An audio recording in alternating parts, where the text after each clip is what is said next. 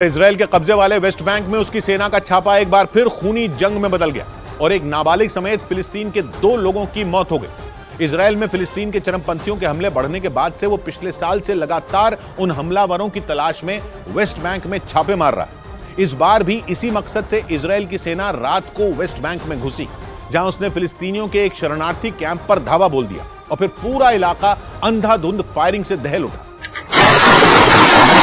सामने आए वीडियो में पहले तो इसराइल के सैनिक वेस्ट बैंक में एक मकान में घुसते दिखे और फिर उनकी मुठभेड़ होती नज़र आई। इसराइल की सेना ने दावा किया कि लड़ाई की शुरुआत दूसरी तरफ़ से हुई।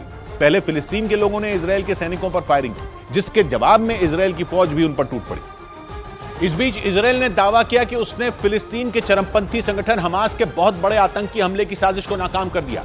इसराइल की सिक्योरिटी एजेंसी ने बताया कि उसने एक ऑपरेशन चलाकर हमास के लिए काम कर रहे नौ फिलिस्तीनियों को गिरफ़्तार किया।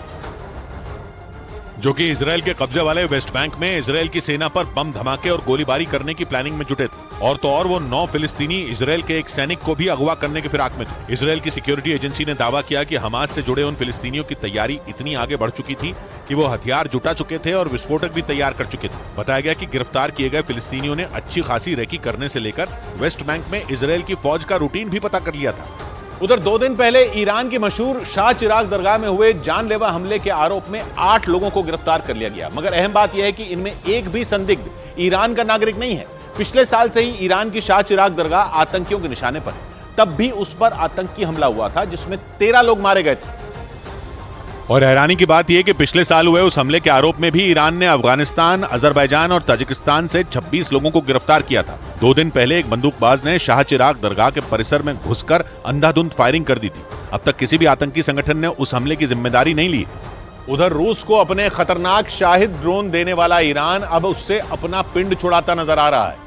ईरान अपने परमाणु प्रोग्राम की वजह से पहले ही पश्चिमी देशों के प्रतिबंध झेल रहा है और रूस की मदद करने की वजह से पश्चिमी देशों ने उस पर नए प्रतिबंध लगा दिए।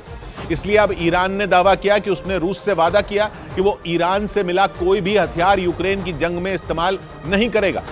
जिसका मतलब यही निकाला जा रहा है कि पश्चिमी देशों के दबाव की वजह से ईरान को रूस से दूरी बनाने पर मजबूर होना पड़ा। पिछले साल यूक्रेन में ईरान के शाहिद ड्रोन उस वक्त पहली बार देखने को मिले थे, जब रूस जंग में कमज़ोर पड़ चुका था। मगर ईरान से मिले शाहिद ड्रोन रूस के लिए ऐसे संकट मोचक साबित हुए कि उसका पलड़ा फिर भारी हो गया और यूक्रेन में तबाही ही तबाही मच गई। लेकिन ईरान यह मानने को तैयार ही नहीं था कि उसने रूस को ड्रोन दिए।